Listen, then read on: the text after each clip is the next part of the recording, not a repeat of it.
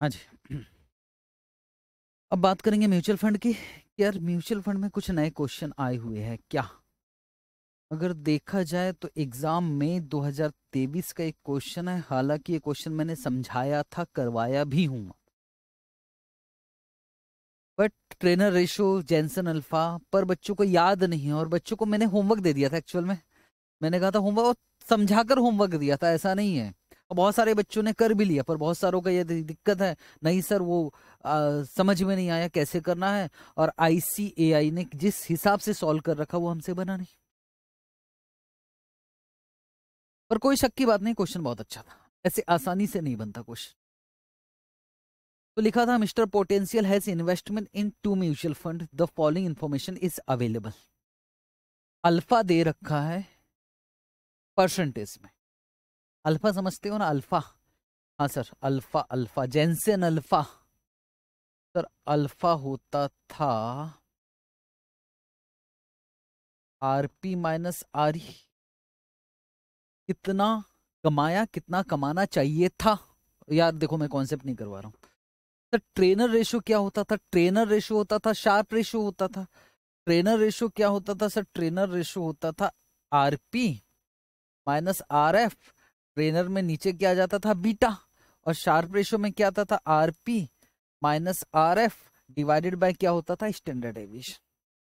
पर Treynor ratio के साथ परसेंटेज नहीं लगाया भाई। सुन लो सुन लो सुन लो सुन लो this most important Treynor ratio में डिवाइडेड बाय हंड्रेड करके दिया हुआ ये मैंने पहले भी बताया था। एक्चुअल में ट्रेनर रेशियो होना चाहिए था। Point zero seven one four into hundred ये होना चाहिए था सेवन पॉइंट वन फोर पर इन्होंने ना डिवाइडेड बाय हंड्रेड करके लिख दिया है। इसका मतलब सर ये हुआ हाँ सर इसका मतलब ये हुआ कि सबको हम डिवाइडेड बाय हंड्रेड लास्ट में कर लेंगे। और एक्चुअल रिटर्न भी परसेंटेज में दिया और रिस्क रिस्क प्रीमियम भी परसेंटेज में दिया, पर ट्रेनर रेशो परसेंटेज में नहीं दिया है। या तो आपको ट्रेनर रेशो को सुधारना होगा इसको इंटू हंड्रेड कर दो या फिर सबको डिवाइडेड बाय हंड्रेड कर दो कोई फ़र्क नहीं पड़ा आंसर एक ही आएगा। ओके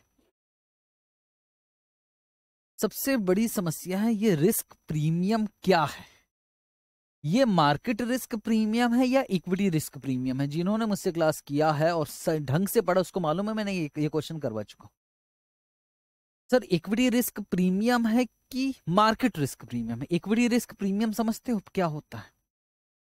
जितना आपने कमाया? माइनस आर एफ़ मतलब RP minus R F risk premium. और सर, मार्केट रिस्क प्रीमियम क्या होता है?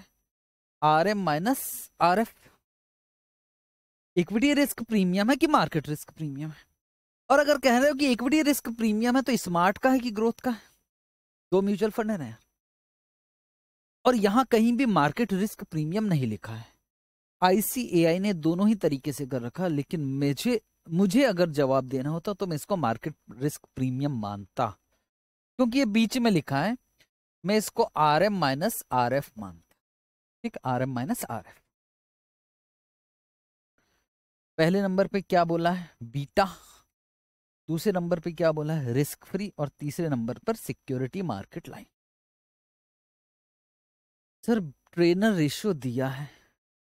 उसकी मदद से हम R M minus Treynor ratio Treynor ratio क्या होता था? तो ट्रेनर रेशो होता था R P minus R F divided by beta तो सर, हमको बीटा चाहिए ना यार, उसके बिना काम नहीं चल सकता। अल्फ़ा दिया है। सर अल्फ़ा दिया है। अल्फ़ा का फॉर्मूला चलो करते हैं ना अल्फ़ा से स्टार्ट करते देखो, मैंने जो करवाया, मैं अभी यहाँ कॉन्सेप्ट नहीं करवा सकता, मैंने किया कैसे ये बता रहा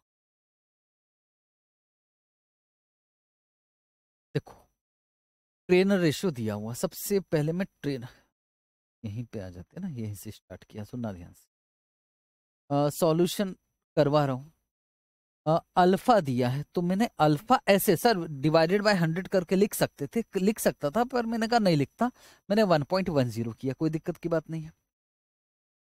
और अल्फ़ा का फॉर्मूला था आर पी माइनस आर और आरपी दिया है eight point five zero percentage तो उससे आर ही निकल गया।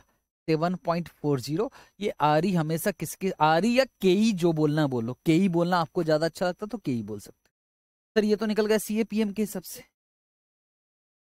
अब मैंने कहा, चलो यार सी ए पी एम का इक्वेशन बनाते हैं। सी ए पी एम का इक्वेशन है आर ई या के ई निकालने का R F M R P और एम आर पी दिया है। मैंने कहा, इसको मैंने एम आर पी ले लिया। और आर ई मालूम है? आर एफ़ और बीटा नहीं मालूम? कोई दिक्कत नहीं। अब देखो, मैंने इक्वेशन के साथ खेला है। सर, आर एफ़ इधर आ गया और seven point four zero minus four beta आ गया। ये क्या निकल गया? R F. आर एफ़ का वैल्यू निकला seven point four zero minus four beta. Maths आपको आता है। अब मैं यूज़ करने वाला हूँ किसका? Treynor ratio. ट्रेनर रेशो का फॉर्मूला क्या है भाई? सर, ट्रेनर रेशो का formula RP minus R F divided by beta. अब ध्यान से समझना, यही खेल है। ट्रेनर रेशो मुझ, में जो उठा रहा हूँ ना, Treynor ratio point zero seven one four उठा रहा हूँ। तो मैंने लिखा point zero seven one four कोई दिक्कत नहीं? नहीं sir RP RP eight point five percent था ना, उसको मैंने डिवाइडेड बाय हंड्रेड कर दिया। सर, यहाँ कोई दिक्कत नहीं। और आर एफ़ का वैल्यू मैंने कहाँ से उठाया? यहाँ से उठाया। बस इसको मैंने डिवाइडेड बाय हंड्रेड किया और इसको भी डिवाइडेड बाय हंड्रेड इसको भी डिवाइडेड बाय हंड्रेड किया। सर हम इंटू हंड्रेड कर सकते कि इसको इंटू हंड्रेड कर दो तो इसको जैसे कि वैसे लिख लेना।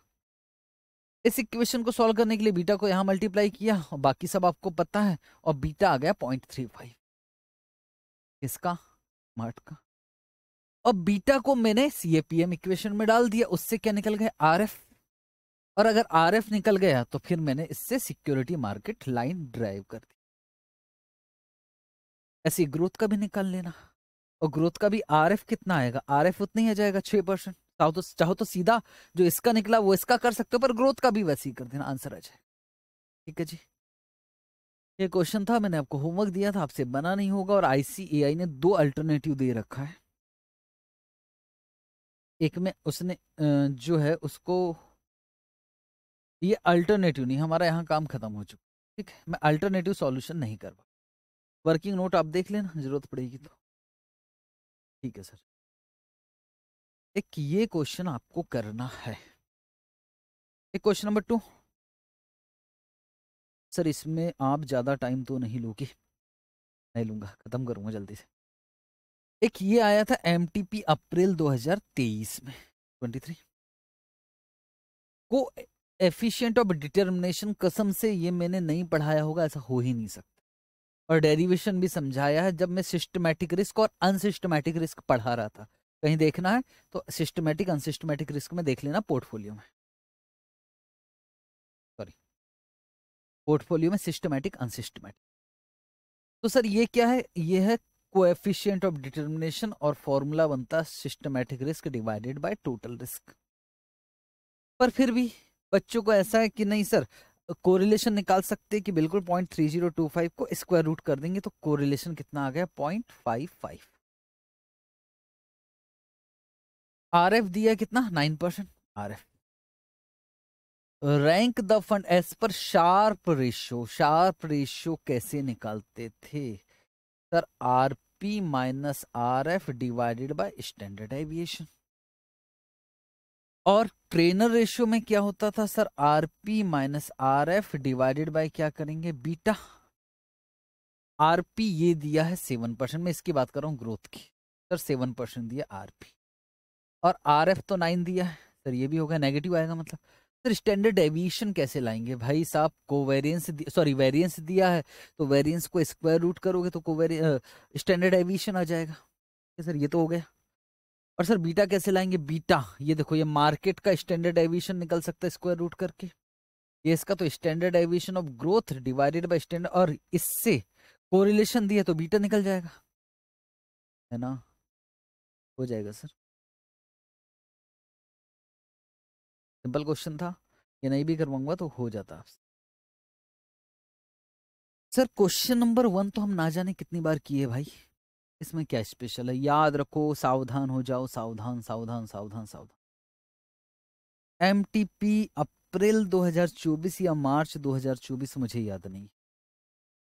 सर ये तो टी वाई के बेटे वो भूल जाओ। ये क्वेश्चन मैंने कहीं से उठाया पर समझो।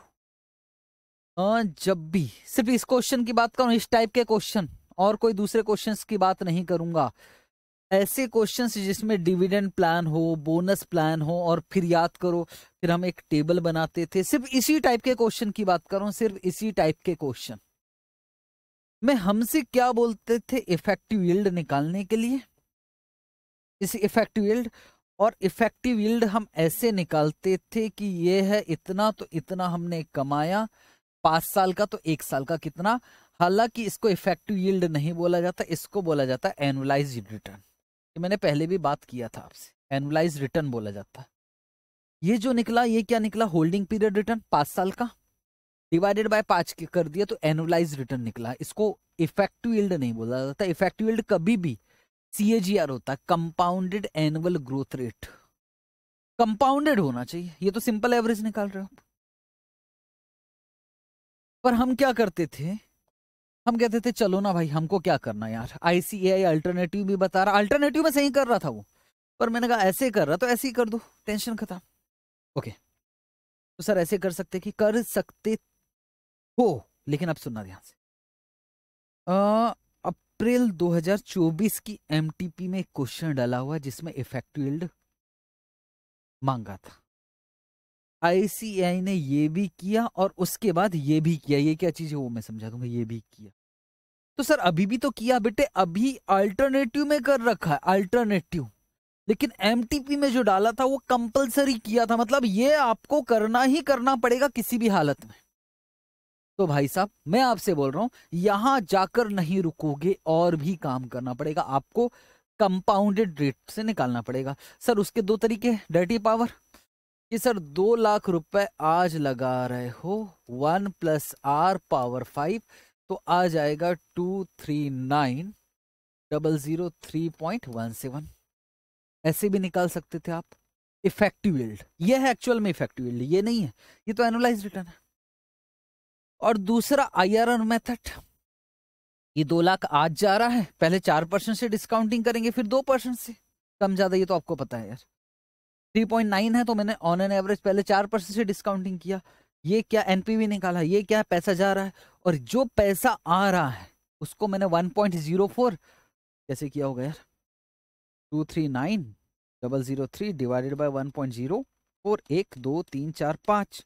तो ये निकाला, ये पैसा आया, ये नेगेटिव एनपीवी है। अगर नेगेटिव तो मुझे रेट ज़्यादा लेना पड़ेगा और उसके हिसाब से फिर मैंने आईआरआर मेथड से किया और इफ़ेक्टिव यील्ड आ गया कितना? 3.64 परसेंट सर, कहना क्या चाहते हो?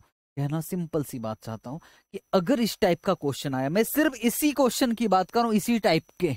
आप समझदार हो? क्योंकि बहुत सारे बच्चों का क्वेश्चन है। ये कि सर, दूसरे टाइप के भी तो क्वेश्चन थे, जिसमें इफ़ेक्टिव यील्ड में हम इफ़ेक्टिव यील्ड दिया रहता था तो हाँ एन भी बैक कैलकुलेशन से कुछ, भाई, वो वहाँ थे, वहाँ रहने दो। अगर इफ़ेक्टिव यील्ड मांगेगा इस टाइप के क्वेश्चन में तो इफ़ेक्टिव यील्ड कैसे निकालोगे? पहले प्रॉपर ये करना और ये नीचे वाला भी करना ही पड़ेगा। आप इसको काट नहीं सकते, सर। अगर हम नहीं करते तो एक नंबर कटेगा कि वो पता नहीं कितने नंबर कटेगा पर प्लीज़ कर लेना। पर एक्चुअल में निकाला ऐसे ही जाता है। बस इतना ही था म्यूचुअल फंड में। ओके ठीक है, सर। अगले चैप्टर पे चलते हुए रिस्क मैनेजमेंट में एक आध क्वेश्चन होगा, वो भी करवा देता हूँ।